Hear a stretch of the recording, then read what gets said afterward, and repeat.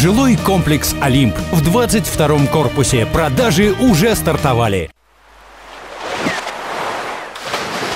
Театр начинается с вешалки, а заканчивается в июне. Это я о театральном сезоне. Конечно, в сентябре коллективы снова примутся учиться, ставить и играть. А финал театрального сезона в нашем городе решили отметить особым фестивалем «Сиреневый вечер».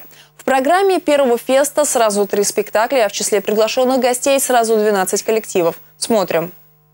На других посмотреть и себя показать. В числе первых на сцену Декана Ващапова поднимаются актеры Народного театра «Миг». Играют комедию «Мамуля». Почти детективная история с заезжими гастролерами, мошенниками, розыгрышами и переодеваниями. Вы что, мужчина? Нет, леди Гага. А вот актеры Тверской студии «Гримерка» пока еще новички, осваивают театральные подмостки всего несколько месяцев. На фестивале нашли много единомышленников. Театр дает возможность э, узнать что-то о себе и об окружающих, что-то новое. И, конечно, такие мероприятия необходимо проводить, необходимо на них приезжать, потому что это заряжает энергией и позволяет заряжает. на свою обыденную жизнь посмотреть с новых ракурсов. Был в числе зрителей тот, кто смотрел все спектакли с особым пристрастием.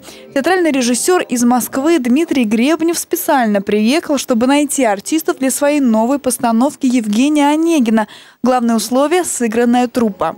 Режиссер – это капитан, а труппа – это команда на корабле. Если есть один коллектив, который очень дружен, то он дружен, и с ним проще работать. Первый театральный фестиваль «Сиреневый вечер» положил начало дружбы коллективов из разных городов. И география его будет расширяться, уверен главный организатор. Ведь чем больше друзей, тем больше интересных идей и совместных проектов.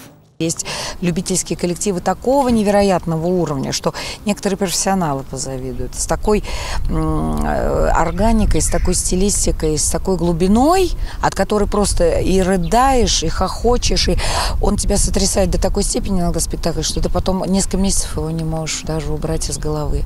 Впереди у всех театральных коллективов отпуск длиной в два с половиной месяца. Репетировать и играть спектакли театры вновь начнут в сентябре.